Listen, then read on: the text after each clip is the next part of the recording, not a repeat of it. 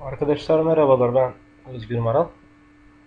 Bu ara YouTube'da görüyorum deli gibi strateji videoları çekiliyor. Deli gibi yani yöntem, metot, teknik. Yani bu iki, iki sene evvel, üç sene evvel sanırım. iki sene de olabilir. Başlarken YouTube'a baktığım zaman eee, hiç kimse yoktu. Hiç kimse yoktu. Ne yerli ne yabancı. Bu son dakikalarda, son zamanlarda çok popüler olan bir şey. Strateji demişken arkadaşlar Olymtrade'de şunu göstermek istiyorum size. Bir demo açmıştık geçenlerde hatırlıyorsanız. 10 dolara işlem yapılabiliyordu ama demosu da vardı. Burada bunun bir stratejiler kısmı var. Demoyu açtığınız zaman şurada görebilirsiniz. Orayı biraz tanıtmak istiyorum. Bakın enteresan bana geliyor bunlar. Diğer stratejiler de var. Bir tanesini inceleyip beraber uygulayalım. Siz de bunu yapabilirsiniz. Mesela neyi yapalım? Erasa'yı mı yapsak? The Gold Rush şöyle kolay da bir şey olsun istiyorum. Zor şey olmasın. Marked Professional Perfect Rush Türkçeleştirelim bakalım bunu ne demek istiyor. Aynı anda iki fiyat ters sinyallerini alınca bir eğilim karşı profesyonel gibi ticaret öğrenin. İki fiyat ters sinyallerini alınca. Neymiş bakalım bu mükemmel bir rush. Buraya tıklıyoruz. Ee, videosundan izleyelim bence. Çünkü sunum İngilizce veriyor. Bakın. Burada anlamamız İngilizcemiz Yok İngilizceye çevirdik o da İngilizceye çevirmiş. Ee, ne diyor? Mükemmel eğri.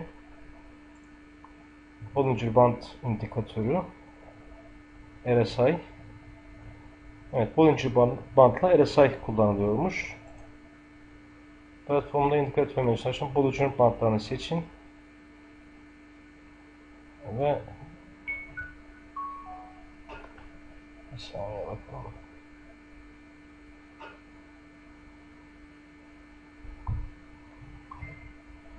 Ee, sonra tam büyütebilir miyiz? 20'ye 2'de bırakıyoruz bunu. RSI'yi seçiyoruz. Onda 14'e 2'de bırakıyoruz. Bakıyoruz indikatörlere son bakış. 1 dakikalık 1 dakikalık baktığımız zaman 1 dakikalık 5 dakikalık, 5 dakikalık, 10 dakikalık, 10 dakikalığa bakacağız. 1 dakikalık geçiş zamanı alan mumlar daha sık sinyaldir ancak sinyal kalitesi daha kötüdür. 5 dakikalığa bakmayı tavsiye ediyor ya. 5-10 dakikalık mumlar tavsiye edilir. Peki. İlk sinyal. İlk sinyal varlık grafiği en yüksek Bollinger Bandları çizgisini kırdı ve mum gövdesinin %30 verisinden fazlasıyla bölgeye giriş yaptı. Evet. Açıklama daha güçlü bir sinyal için mumun gövdesi önceki mumlardan daha büyük olmalıdır. Önceki mumlardan daha büyük olmalıdır. İkinci sinyal RSI 70 işaretinin üstüne çıktı. Burada bir araya gelirse aşağı inen bir işlem açmak iyi bir zamandır demiş.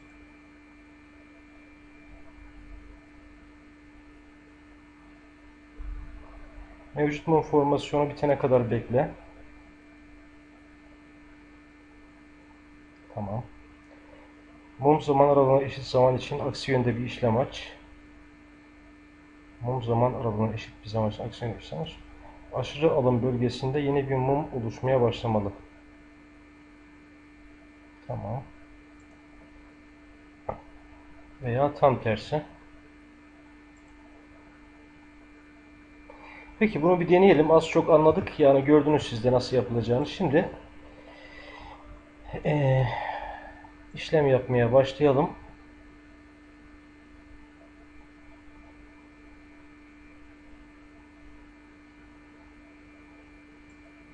Teknik analiz kısmında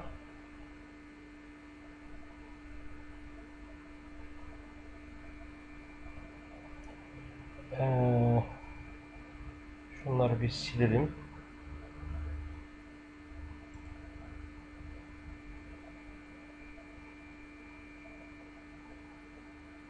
Bir saniye arkadaşlar. Evet şimdi çalışmaya başlayabiliriz. 5 dakikalık yapalım dediği gibi 1 dakikada sinyaller kötü diyor.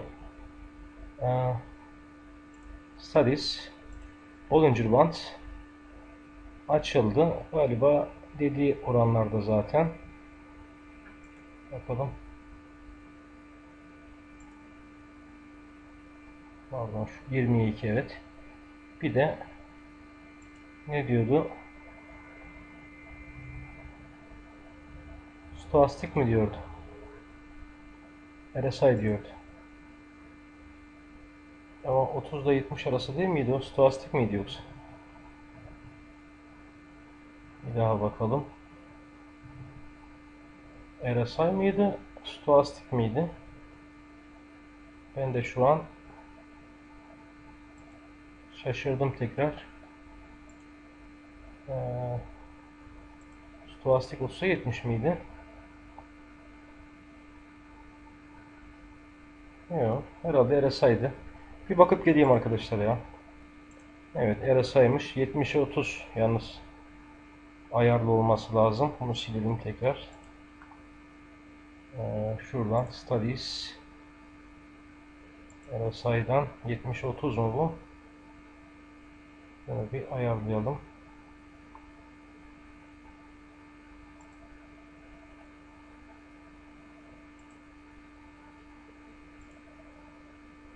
Otuz'a 70 zaten.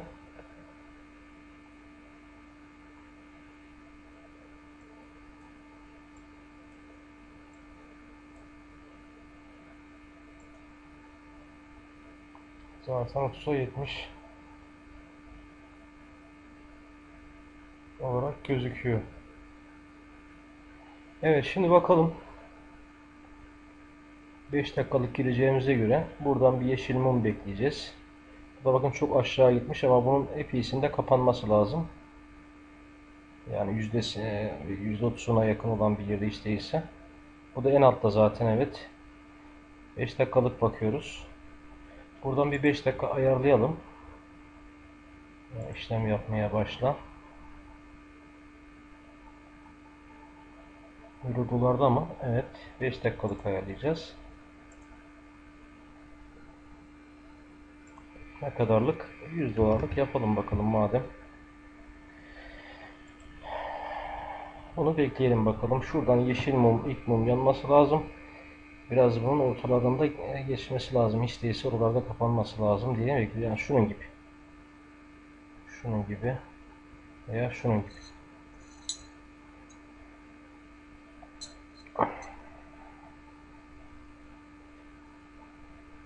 Yine sizi bekletmeyeyim. Oluştuğu anda açayım videoyu.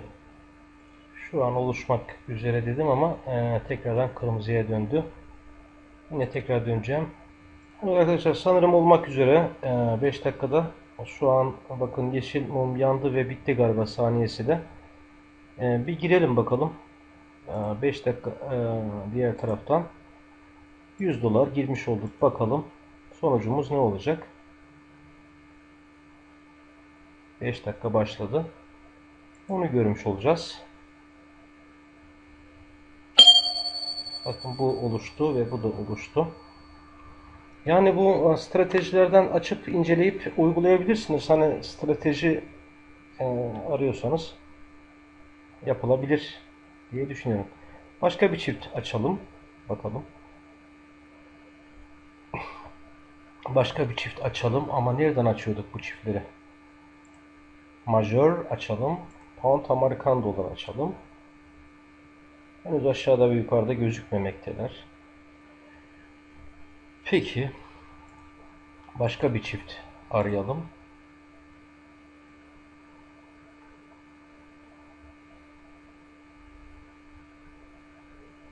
Mesela neyi? USD kat. Bu yapacağını yapmış zaten. Biraz daha beklemek lazım bunu. Başka ne arayalım? Örneğin örneğin örneğin USD JP geliyor mu? Tabi düşüş bekleyeceğiz bundan artık. Çünkü yukarı dayandığına göre. Bunda aşağı inmesi bekleyeceğiz. Az sonra olabilir. Bir iki pencere yapsak o da başka bir majör seçsek değil mi? Mesela AUD USD yapsak. Küçük mü gözüküyor? Olmadı. Baştan efendim ne yapsak? Majörden Ee, Euro Japon yeni yapsak.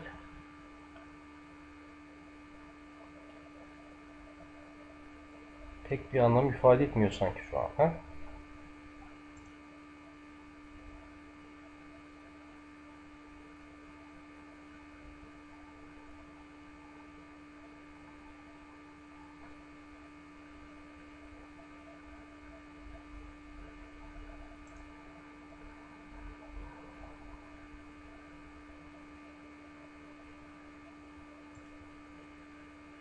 Bakın şu geliyor. NZD USD geliyor bak. Bu da gelecek şimdi. Ayarlayalım. NZD USD var mı? Bu aşağıdaki arkadaş mı? Yuvada kaybediyoruz. NZD USD'ye bakalım. Var mıydı NZD USD? NZD USD yoksa ayıp olacak şimdi. NZD USD. Şu. Ama %30 %30 veriyormuş. %30'da ne yapacağız ama? Bakalım.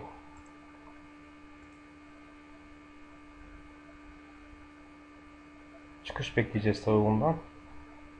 Bundan da aşağı iniş bekleyeceğiz.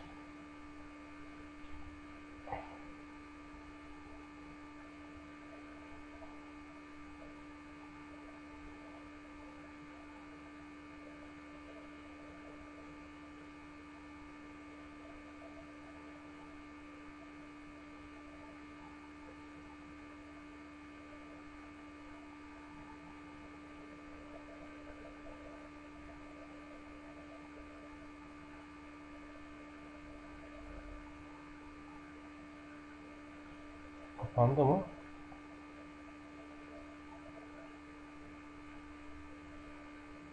Bu kadar zamandan sonra kapanacak tabi. Bu da 3.25'den sonra kapanacak. Daha vakit var. Yatırdığımız para ne oldu?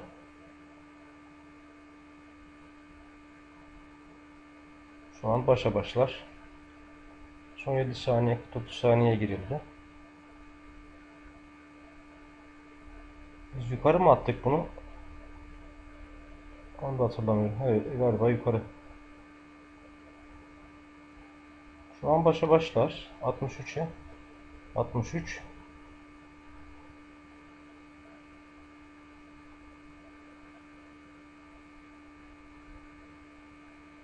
Yirmi. On dokuz. Böyle kaldı bu. On beş.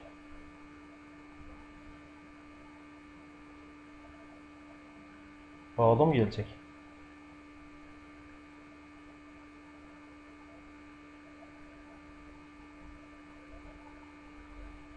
Bağlı geldi.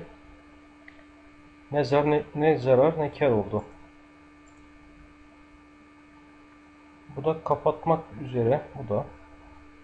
Böyle kapatırsa şuna bir gireceğim. Sonra 2 dakikası var. Sonra açıyorum arkadaşlar. Evet. 39 saniyede böyle kapanırsa gireceğim. Buna girmeyeceğiz çünkü karşılamıyor vaziyeti. Üst olarak gireceğiz. Böyle kapanırsa bu. Yani 5 dakika sonra yeni mum açılacak çünkü.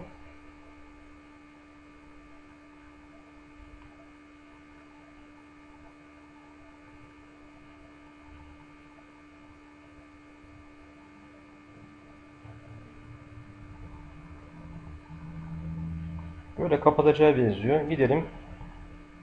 Hemen 5 dakikalık işlemimizi açalım. NZD, USD'de açmış mıydık? Ulan Allah kahretmesin. Niye baştan? Şuydu değil mi? NZD, USD. Biz buna nereye bakıyoruz ya? NZD, USD evet. Bunun trade. NZD, USD 5 dakika yukarı doğru eğer kazansak 80 dolar kazanmış olacağız. Şu an açmış olduk.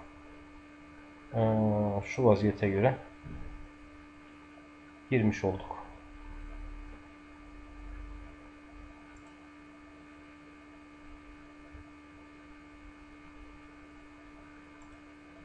NC'de US'de neredesin ya?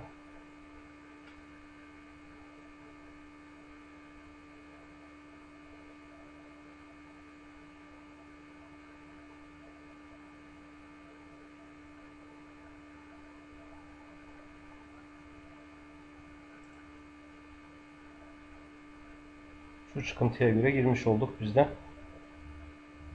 Bakalım 5 dakika sonra açıp göstereceğim sonuç.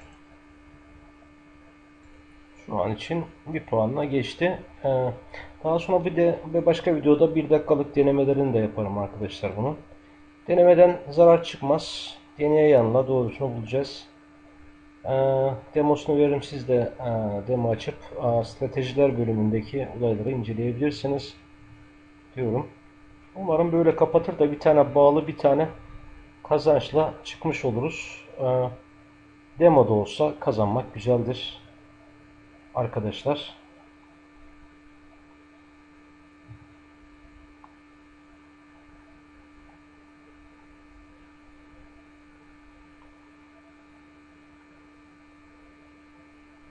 saniye sonra açayım bekletmeyeyim boş yere sizi.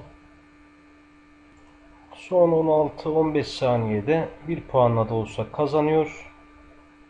Umarım böyle bitecek. 9, 8, 7, 6, 5, 4, 3, 2, 1, 0.